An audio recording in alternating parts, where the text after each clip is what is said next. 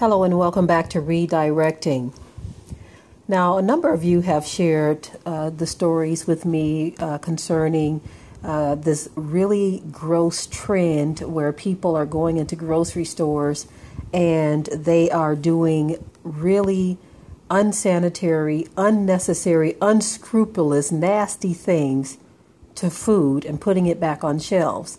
Now, we first saw the girl who licked the ice cream and then she put it back on the shelf. Uh, she was caught and apparently is possibly facing 20 years in prison. But did that deter others? No, it did not.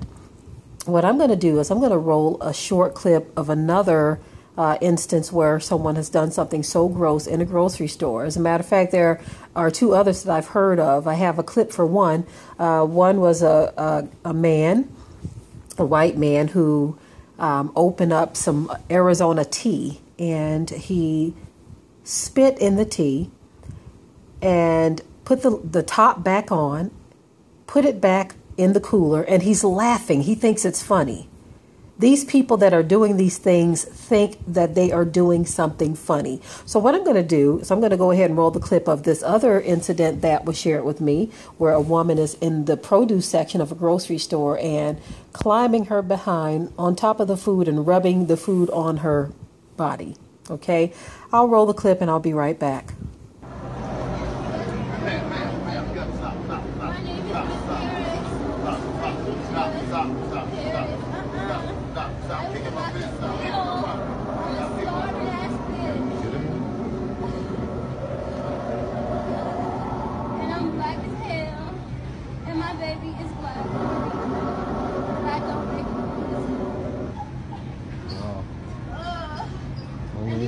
Kroger. Now, as you can see from the clip, um, something very, very unscrupulous is happening there. Gross. At a grocery store. You get it, grocery store. G R O S S. See? Okay people are doing these things, and a lot of us don't understand that it's not just a dare. It's not just um, people that are wanting to become famous on the internet. There are spirits dealing with people.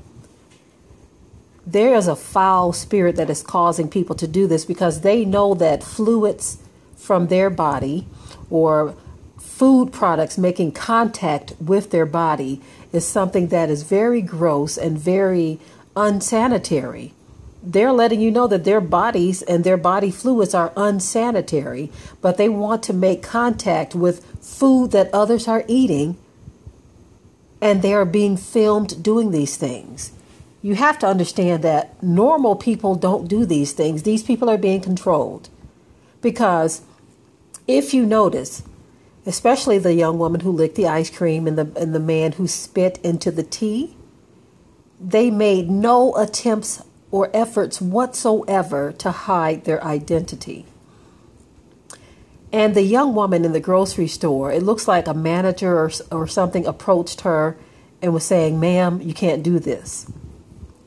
But she climbs her big behind up there and she is all over food that people are going to eat. They're going to have to remove, clear that whole shelf off can you imagine the number of times where we may have gone grocery shopping someplace and someone may have picked up a piece of fruit and licked it and put it back?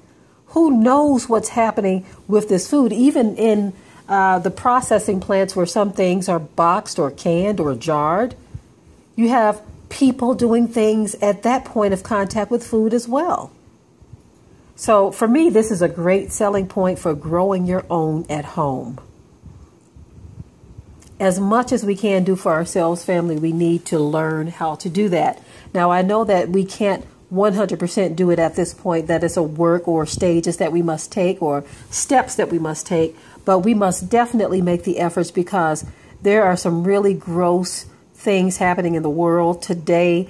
People don't care. They're being caught. They're being filmed doing this and they just don't care. This is because we wrestle not against flesh and blood, but against the rulers of darkness of this world, against spiritual wickedness, against principalities in high places. These people are being controlled. This is not normal behavior. And so, all I can say at this point, family, is be careful. If we have to eat this stuff, we definitely have to pray over it. Okay, we definitely have to pray. Definitely have to pray over it. But we uh, must also consider going back to the old ways, and the old ways are the good old days of growing your own food. It is what it is, family. And with that, I will say shalom sure to ring the bell to be notified of new uploads on this channel and also comment, share, like, and subscribe.